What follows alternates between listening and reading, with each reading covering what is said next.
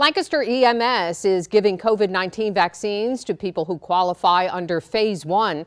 EMS employees are administering the Moderna shots to five people every half hour today. The ambulance company received the first shipment of 200 doses last week and will host similar vaccination days Wednesday and Friday.